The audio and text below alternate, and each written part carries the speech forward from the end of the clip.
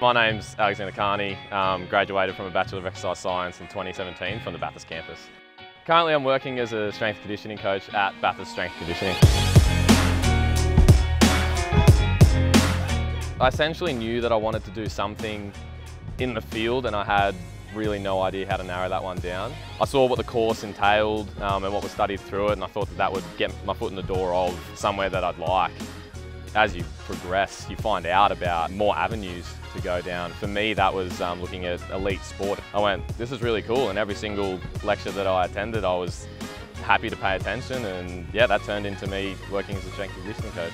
I'm pretty proud of the work that we do here at the gym. We're running group classes, a couple of personal training sessions, programming and laptop work on the side, marketing, every, anything to do to benefit the health of our members essentially. The first year was quite exciting wondering what was going to happen next. ECGs I found really interesting, all the stuff that you see elite athletes using.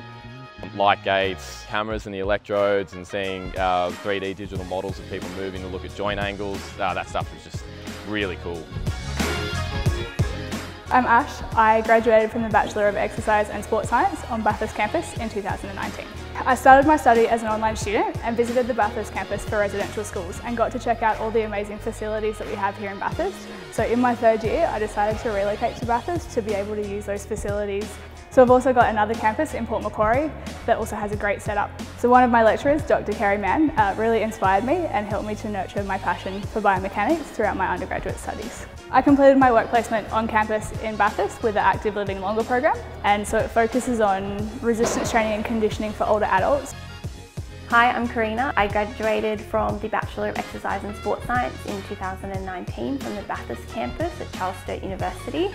I now work as an accredited exercise physiologist at PhysX in Bathurst and Orange. So Geraldine is a client of mine. She originally came because she was getting a lot of knee pain and was then later diagnosed with type 2 diabetes. Geraldine is actually no longer a type 2 diabetic, doesn't take any medication for type 2 diabetes but she does need to maintain her aerobic exercise in order to make sure that she doesn't increase her risk of developing type 2 diabetes again.